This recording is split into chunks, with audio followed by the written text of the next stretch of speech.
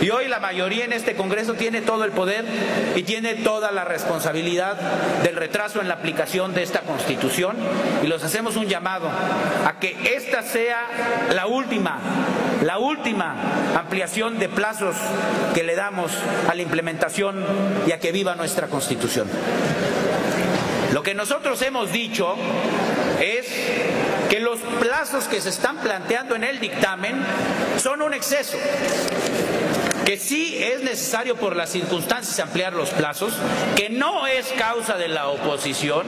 que no es nuestra responsabilidad. Dejo claro en esta tribuna que no fue responsabilidad de la oposición que llegáramos a esta circunstancia de necesidad de ampliar plazos.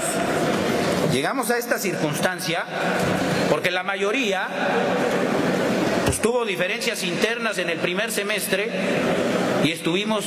todos inmersos y secuestrados en ese proceso.